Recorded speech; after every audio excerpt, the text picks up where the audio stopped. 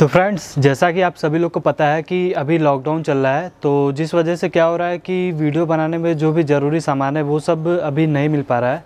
क्योंकि फ्रेंड्स सारी दुकानें बंद चल रही हैं। जिस वजह से वीडियो को बनाने में अभी काफ़ी ज़्यादा प्रॉब्लम आ रहा है तो मैं जिस लेवल की वीडियो बनाने को सोच रहा हूँ, अभी मैं उस तरीके की वीडियो नहीं बना पा रहा हूँ।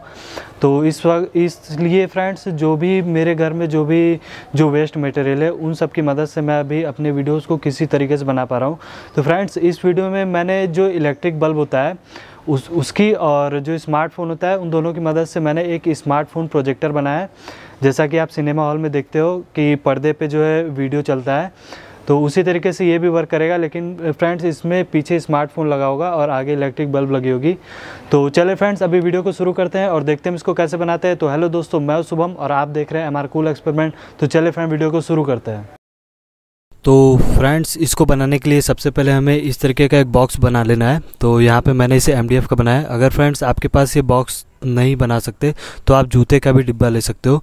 तो फ्रेंड्स, इसकी जो लंबाई है वो 11 इंच है और जो इसकी चौड़ाई वो साढ़े छः इंच लगभग है। तो फ्रेंड्स, यहाँ पे हमें एक इस तरीके का बल्ब ले लेना है। तो ये जो 10 वाट का बल्ब होता है उससे मैंने लिया है। और फ्रेंड्स, इसके जो ऊपर वाला हिस्सा है, उसे हमें किसी ठोस चीज़ की मदद से ठोक करके, जैसे कि पेचकस हुआ तो उसकी मदद से ठोक करके आपको इसके जो अंदर का मटेरियल है, उसे पूरा बाहर निकाल देना है। तो फ्रेंड्स, अगर आप आपको ये चीज़ करने नहीं आ रहा है तो आप यूट्यूब पे बहुत सारे वीडियो आप उसको देख के इसे कर सकते हो। तो अभी फ्रेंड्स इसको कर लेने बाद हमको क्या करना है कि इस तरीके का रंगा ले लेना है और रांगे से हम इससे बल्ब के चारों तरफ़ इस तरीके से एक साँचे की तरह बना लेते हैं। तो फ्रेंड्स यहाँ पे हमको एक बल्ब का एक साँचा मिल जाता है। तो यहाँ पे आप देख सकते हो, ये कुछ रांगे को हमने इस तरीके से बना लिया। है तो फ्रेंड्स, हमको क्या करना है, जो एमडीएफ का ये वाला हिस्सा हमने बनाया, इसके ऊपर हमें इस रांगे को रख करके इसे हम थोड़ी थोड़ी दूर पे चिपका देते हैं, क्योंकि फ्रेंड्स, हमें इसे परमानेंट नहीं चिपकाना। हमें केवल इसे सांचे के लिए उपयोग में लेना है। तो अभी फ्रेंड्स, इसको बना लेने के बाद हम इसे पेंसिल की मदद से अंदर के साइड में निशान लगा लेते हैं। तो अभी ये कुछ इस तरीके से हमारा बन जाएगा। तो फ्रेंड्स, इसको कंप्लीट हो जाने हो जाने के बाद हम रांगे को यहाँ से हटा देते हैं। तो फ्रेंड्स, यहाँ पे आप देख सकते हो, हमने पेंसिल से मार्का इस तरीके से लगा लिया है। तो यहाँ पे हमें बल्ब के आकार का निशान मिल गया है। तो फ्रेंड्स, हम क्या करते हैं, इसको हम कट करके निकाल देते हैं। अगर फ्रेंड्स, आपके पास ये मशीन नहीं है तो आप एमडीएफ को थोड़ी देर के लिए भिगो देना, जिससे कि एम मुलायम हो जाएगा। और जो थर्माकोल काटने वाला जो ब्लेड होता है, उसकी मदद से भी आप इसे काट सकते हो। तो अभी फ्रेंड्स हम क्या करेंगे, रेती की मदद से यहाँ पे थोड़ा जगह बना लेते हैं ताकि हमारा बल्ब आसानी से एडजस्ट हो जाए। तो यहाँ पे आप देख सकते हो, अभी हमारा जो बल्ब है वो बिल्कुल आसानी से एडजस्ट हो जा रहा है। तो अभी फ्रेंड्स इसको भीतर के साइड में हम ग्लूगन स्टिक की मदद से इसे चिपका लेते हैं। तो यहाँ पे आप देख सकते हो, इसे हमने अंदर के साइड से बिल्कुल अच्छे से चिपका लिया है। और इसको हम वापस से यहाँ पे इस जगह पे लगाकर हम इसे फेविक्विक से चिपका देंगे। तो यहाँ पे फ्रेंड्स मैं इसे लगा दे रहा हूँ और इसे हमें अच्छे से चारों तरफ़ से फेविक्विक से चिपका देना है, जैसा कि आप वीडियो में देख सकते हो। तो हमने इसे अच्छे से चारों ओर से फेविक्विक से चिपका दिया है। और फ्रेंड्स इसको कंप्लीट करने के बाद यहाँ पे हम इसे बाहर से भी चिपका देंगे तो ये कुछ इस तरीके देखने लगेगा। तो फ्रेंड्स, इस बॉक्स की जो लंबाई है वो 11 इंच है और जो इसकी चौड़ाई वो साढ़े छः इंच है। और फ्रेंड्स, यहाँ पे आप देख सकते हो हमने चार इंच चौड़ा और साढ़े छः इंच लंबा इससे दो एमडीएफ का टुकड़ा ले लिया है।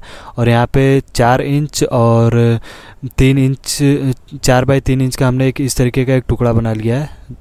तो इसके मैंने दो पीस कर लिए तो वे फ्रेंड्स, इन दोनों को हमें इस टुकड़े के दोनों तरफ़ इस तरीके से चिपका देना है। तो यहाँ पे मैं इसे चिपका दे रहा हूँ। और इसके बाद फ्रेंड्स जो हमने इसका ये वाला हिस्सा बनाया था, इसको हमें इसके नीचे रख के कुछ इस तरीके से चिपका देना है। तो यहाँ पे मैं इसे चिपका दे रहा हूँ। तो भी फ्रेंड्स, ये अच्छे से चिपक जाने के बाद ये कुछ इस तरीके का दिखेगा। तो इसको हमको क्या करना है फ्रेंड्स, हमें इसको बॉक्स में रख देना है। और यहाँ पे हमको एक चीज़ ध्यान देना है कि ये अंदर इस तरीके से आगे पीछे स्लाइड होना चाहिए। तो अभी फ्रेंड्स इसके बाद हम यहाँ पे अपने मोबाइल का एक जो बैक कवर होता है, उसे ले लेंगे। और यहाँ पे हमें इसके इस जगह पे लगाना है। ध्यान देना है फ्रेंड्स ये बल्ब के बिल्कुल ठीक सामने की ओर होना चाहिए। तो अभी फ्रेंड्स इसे हम अच्छे से सेट कर लेने के बाद इसे हम यहाँ से निकाल देंगे। तो यहाँ पे आप देख सकते हो, हमने इसे निकाल दिया है। और फ्रेंड्स इसको हम इस कवर को वहाँ पे टिकाने के लिए मैं यहाँ पे नीचे के साइड में एक एमडीएफ का टुकड़ा इस तरीके से यहाँ पे चिपका दूँगा।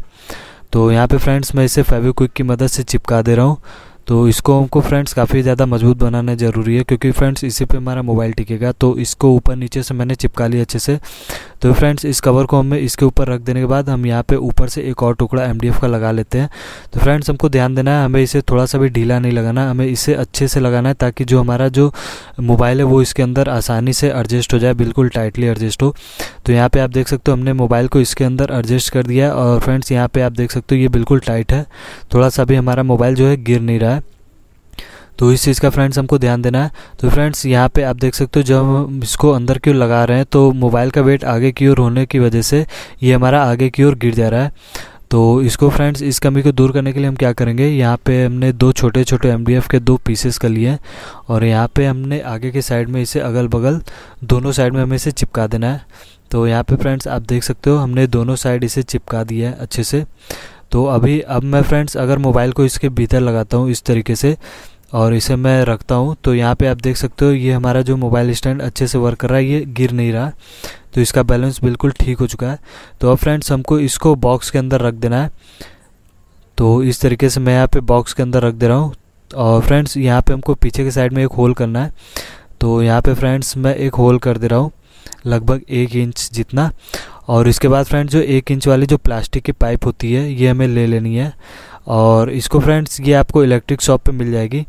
तो इस पाइप को लेने के बाद फ्रेंड्स, जो हमने ये ये वाला हिस्सा जो बनाया, इसके पीछे हमें इसको चिपका देना है। तो यहाँ पे फ्रेंड्स, मैं पाइप को यहाँ पे चिपका दे रहा हूँ, फेविक्विक की मदद से। तो फ्रेंड्स, ये हमारा फोकस का काम करेगा। तो जैसे कि जब हम इस प्रोजेक्टर को चलाएँगे, दीवार पे चित्र दिखेगी तो चित्र कभी कभार साफ़ नहीं दिखती है तो इसकी मदद से हम मोबाइल को आगे पीछे करके चित्र को साफ़ कर सकते हैं। तो ये फ्रेंड्स हमारा जो फोकस होता है, उसको ठीक करने का काम करेगा। तो फ्रेंड्स मैं बॉक्स के ऊपर की कैप को बना ले रहा हूँ तो इस कैप को बनाने के लिए सबसे पहले मैंने बॉक्स के आकार का एक एमडीएफ का टुकड़ा काट लिया है, और इसके चारों तरफ़ से हमने भीतर के साइड में एमडीएफ को कट करके कुछ इस तरीके से लगा दिया है, जिस, यहाँ पे आप देख सकते हो। एम uh, को हमने अंदर के साइड से कुछ इस तरीके से लगा दिया। फ्रेंड्स यहाँ पे आपको ध्यान देना है एमडीएफ थोड़ा बाहर की ओर झुकी होनी चाहिए कुछ इस तरीके से जिससे कि ये जो हमने जो बॉक्स बनाया उसके भीतर के दीवार को चारों तरफ़ से टाइटली अच्छे से पकड़ ली ये कैप तो यहाँ पे आप देख सकते हो हमने कुछ बाहर की ओर झुका करके इन सभी तरफ़ से इस तरीके से भीतर के साइड में एमडीएफ को लगा दिया है। और यहाँ पे फ्रेंड्स मैंने थोड़ा सा आगे गैप छोड़ दिया ताकि जो हमारा बल्ब है यहाँ पे एडजस्ट हो सके। तो भी फ्रेंड्स इसको सिंपली हमें ऊपर से ढक देना है। कुछ इस तरीके से हम इसे लगा देंगे। तो अगर फ्रेंड्स आप चाहो तो जूते के डिब्बे का भी बना सकते हो, लेकिन फ्रेंड्स मेरे पास कोई ऐसा डिब्बा था नहीं जिसकी वजह से मुझे एमडीएफ का इसे बनाना पड़ा है। अगर फ्रेंड्स आपके पास कोई जूते का अच्छा डिब्बा है तो आप उसकी मदद से भी बिल्कुल आसानी से बना सकते हो। तो अभी फ्रेंड्स हम क्या करेंगे? बल्ब के अंदर हम पूरा बल्ब को हम पानी से भर देंगे। तो फ्रेंड्स होगा ये कि अभी जो हमारा बल्ब है, वो अंदर पानी भर जाने के कारण ये जो हमारा बल्ब है, वो लेंस का काम करेगा। तो अगर फ्रेंड्स बल्ब की साइज़ अगर थोड़ी बड़ी हो जैसे कि जो 100 वाट का बल्ब आता है अगर आप उसे ले लोगे तो वो और भी ज़्यादा अच्छा है। तो वो क्यों अच्छा है मैं आपको आगे बता दूँगा। तो फ्रेंड्स यहाँ पे आप देख सकते हो हमने एक मोबाइल को आ, हमने एक वीडियो को मोबाइल में यहाँ पे चालू कर दिया है और इसको हमको मोबाइल को उल्टा करके रखना है। इसका ऑटो ऑटो रोटेशन जो होता है उसको ऑफ़ करके। क्योंकि फ्रेंड्स अगर वीडियो उल्टा चलेगी तो हमारा जो सामने प्रतिबिंब है वो सीधा दिखेगा। और अगर हम वीडियो को सीधा चलाते हैं तो जो हमारा सामने जो प्रतिबिंब बनेगा वो उल्टा बनेगा। तो भी फ्रेंड्स इसलिए हमें ऑटो रोटेशन को ऑफ़ करके यहाँ पे हम वीडियो को उल्टा करके चला देते हैं। तो इसके लिए आप फ्रेंड्स वीएलसी प्लेयर डाउनलोड कर सकते हो, क्योंकि एमएक्स प्लेयर में ये वर्क नहीं करेगा। तो भी चले फ्रेंड्स हम इसकी टेस्टिंग करके देखते हैं।